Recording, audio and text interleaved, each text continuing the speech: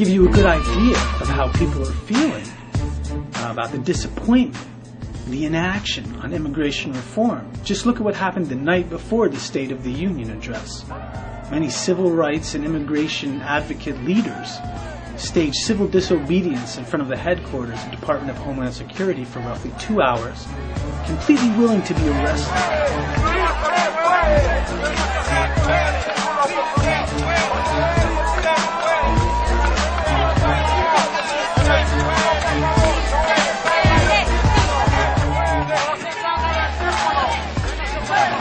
There's there's a lot of unrest right now. There's a fair amount of uh, disenchantment immediately after the speech, but then again, a fair amount of people pretty much expected that too. But I'd say the the disappointment has very quickly um, transformed into a feeling of uh, determination and um, commitment because we're going to do this.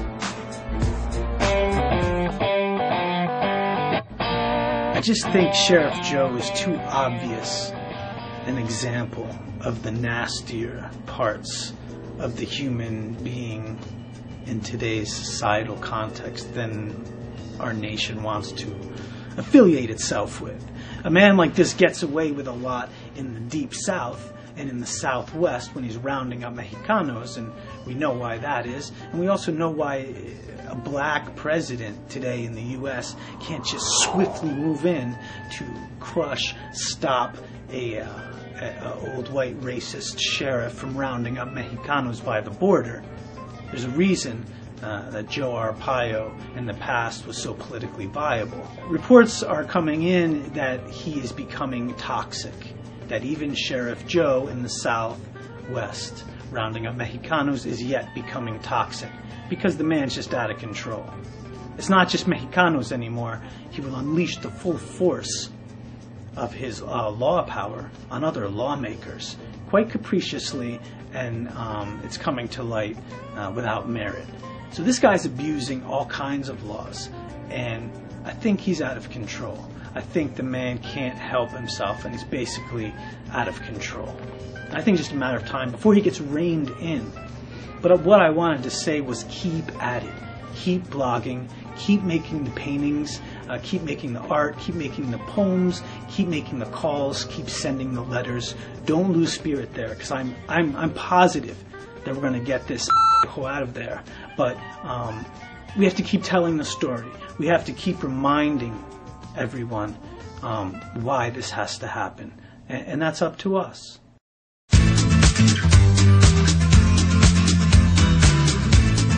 As some of you probably know, I am no longer writing the weekly Diaspora, which was an immigration roundup column that I have been writing for the last 13 months or so for the Media Consortium. Uh, there's a post on my blog, goes into great length about how that was and, and how it ended, and some of the context around it, and take that for what it's worth. I'm not dwelling on that. I'm moving right forward. People are used to coming to my blog and getting an overview by now, weekly, on immigration matters. For various reasons, some of them very defensible and understandable, um, I could not link beyond a certain group of websites for this job because this job's purpose was to boost their collection of members. All very understandable. Uh, that's what businesses are about, media consortiums are about. Uh, but it was frustrating to me because I'm coming at it from a different angle. I'm coming at it from a more idealistic angle of I just want the roundup to give a good feel of what's going on everywhere in the blogosphere, not just in these independent news sites. That's not useful to me to limit it there.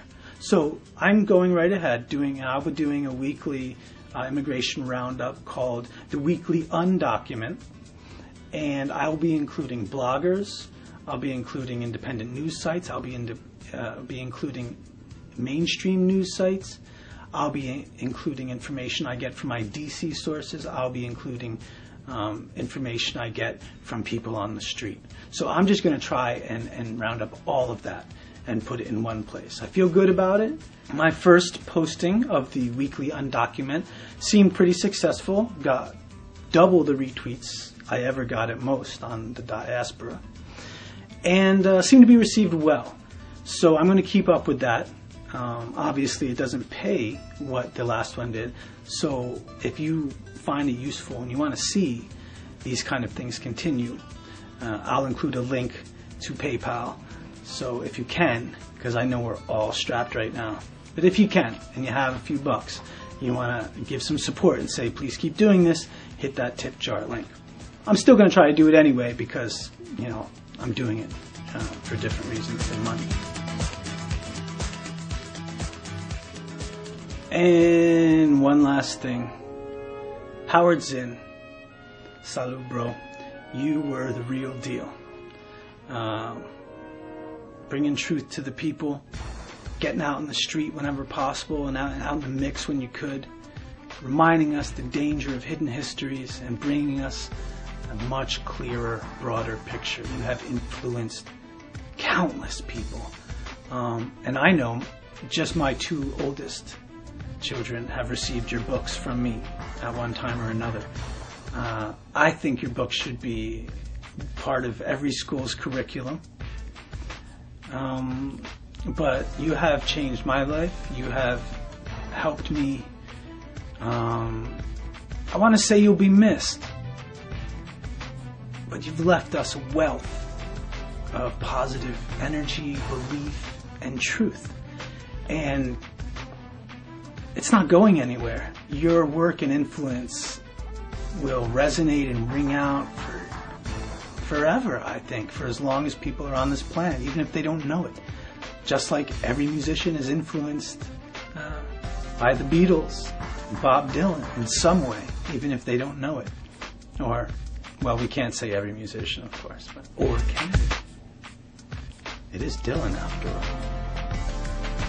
We recognize Howard Zinn we salute him as he moves on to the next plane, and carry on the good work of which he was always sure to be a part of. Thanks for joining me here at News with Nezua. I will see you next week for the last episode before I split to Mexico for a little while. I'll see you then. Thanks for joining me.